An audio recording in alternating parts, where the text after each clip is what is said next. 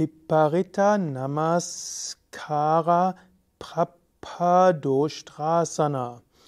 Das Kamel auf Zehenspitzen mit Gebetshaltung hinter dem Rücken.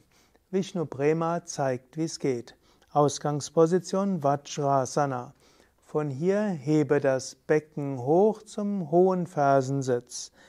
Dann beuge die Fußgelenke und bring die Zehenspitzen auf den Boden. Dann gib die Handflächen zusammen hinter dem Rücken, nach Möglichkeit mit Fingerspitzen nach oben. Und von hier ausgehend schiebe das Becken nach vorne, gib den Wölbe den Brustkorb nach vorne und die Schulter nach hinten.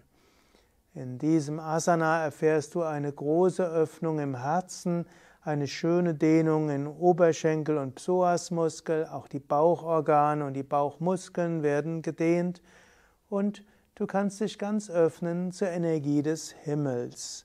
Und durch die Stellung der Finger und Handflächen gibt es auch eine gute Flexibilität für die Handgelenke und Dehnung in den Schultern.